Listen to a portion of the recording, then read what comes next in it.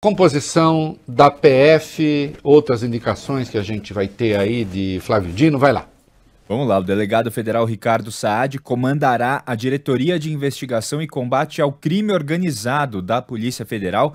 Entre as áreas subordinados, né, subordinadas à chamada de COR, está a equipe encarregada de investigar políticos com foro de com prerrogativa de foro, né, nos tribunais superiores. O Saad chefiou a superintendência da PF no Rio de Janeiro entre abril de 2018 e agosto de 19.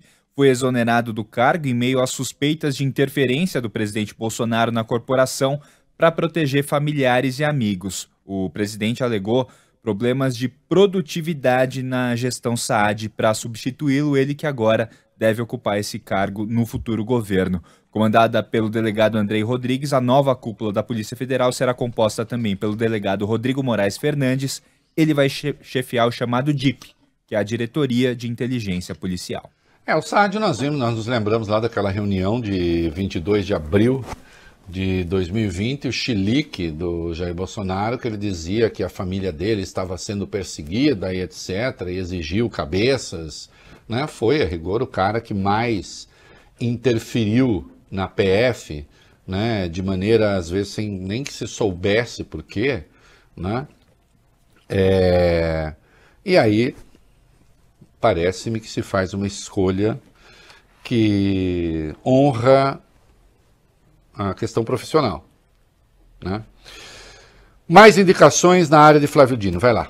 O futuro ministro da Justiça anunciou hoje o advogado Antônio Augusto de Arruda Botelho, do PSB de São Paulo, como secretário nacional de Justiça, Arruda Botelho foi advogado do executivo Márcio Faria, ligado à empreiteira Odebrecht durante a Lava Jato e é um dos principais críticos da operação. Nas últimas eleições, ele se candidatou a deputado federal em São Paulo pelo PSB, mesmo partido de Flávio Dino, recebeu cerca de 40 mil votos, mas não se elegeu. O próximo secretário nacional de Justiça também presidiu o Instituto de Defesa e dos Direitos de Defesa, desde que eclodiu a Lava Jato. Arruda Botelho sempre se posicionou como um crítico da operação e dos métodos utilizados pelos procuradores do Ministério Público Federal e pelo então juiz Sérgio Moro. É, só uma coisa eu não tinha visto, eu, o nome é Instituto de Defesa do Direito de Defesa, no, no singular, só ah, dá uma checada, singular. eu acho, tá. só é, verifica para mim, eu acho que é Instituto de Defesa do Direito de Defesa. É, se não for, a gente diz aí é dos direitos, mas eu acho que Instituto é de Defesa do Direito de Defesa, perfeito. Isso, no singular. No singular. Isso. Ô, oh, meninos, eu mantive isso aí, assim como tá, né? Até fui eu que acrescentei, Bob Rui, né? É... Com essa referência a Lava Jato, que fica parecendo assim, oh meu Deus! Ele foi advogado de não sei quem da Lava Jato, ele é crítico da Lava Jato, ainda bem. ainda bem. Parabéns ao Flávio Dino pela escolha tivesse escolhido algum puxa-saco da Lava Jato, ia tomar pau aqui agora.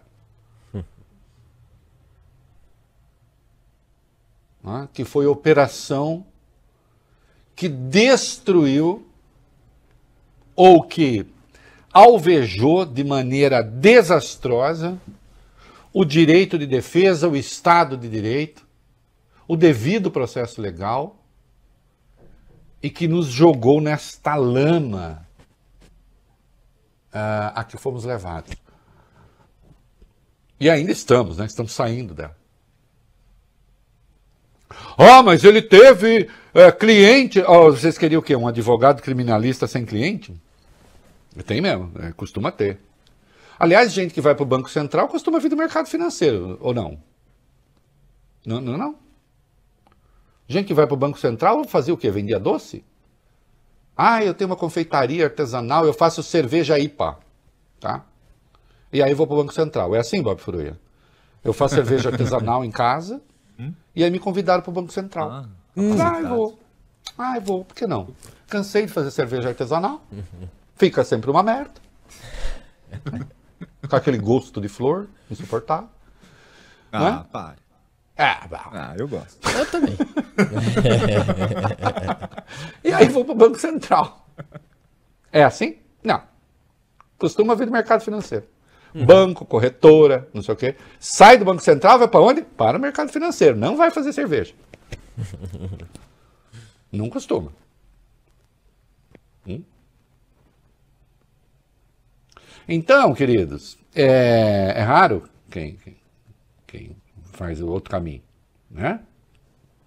É, é um advogado criminalista, que bom que conhece. Hum?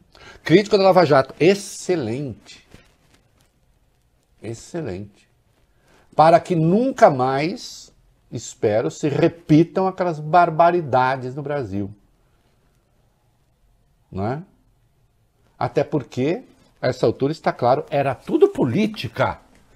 Não é mesmo, senador eleito Sérgio Moro? Hã? E como disse o Papa, né? Nasceu de uma fake news. Hum? Disse o Papa.